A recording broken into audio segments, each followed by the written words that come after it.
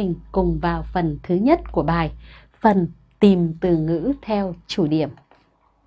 Trước hết, chúng ta sẽ cùng tìm từ ngữ ở bài số 1 theo yêu cầu. Chỉ hoạt động có lợi cho sức khỏe, ví dụ như tập luyện. Phần này là phần mà chúng ta lựa chọn những từ để chỉ hoạt động. Các hoạt động này xoay quanh việc phục vụ cho sức khỏe.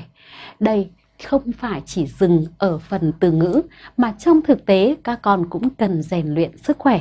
Chúng ta sẽ cùng xem những hoạt động nào là những hoạt động tốt cho sức khỏe mà cô và Toliha gợi ý cho các con ở phần tìm từ nhé. Ngoài từ mẫu là từ tập luyện, ta có từ tập thể dục. Hoạt động rất tốt cho sức khỏe nữa và cũng dễ dàng, đó là đi bộ. Còn cũng có thể lựa chọn những từ như chạy nhảy, chơi bóng, đá cầu, nhảy dây, đi xe đạp. Đây cũng là những hoạt động rất gần gũi với các con và có lẽ các con cũng yêu thích. Tiếp theo, không chỉ các hoạt động thể thao mà còn cũng có những hoạt động khác tốt cho sức khỏe, đó là ăn uống điều độ, nghỉ ngơi hợp lý. Ngay cả đi du lịch cũng là một hoạt động có lợi cho sức khỏe, cả về thể chất lẫn tinh thần. Cô ghi lại những phần này để các con lưu ý hơn nhé.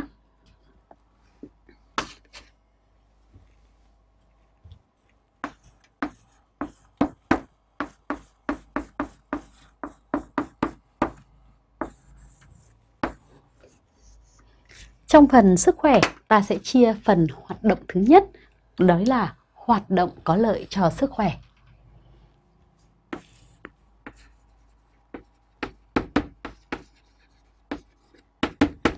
Ở phần này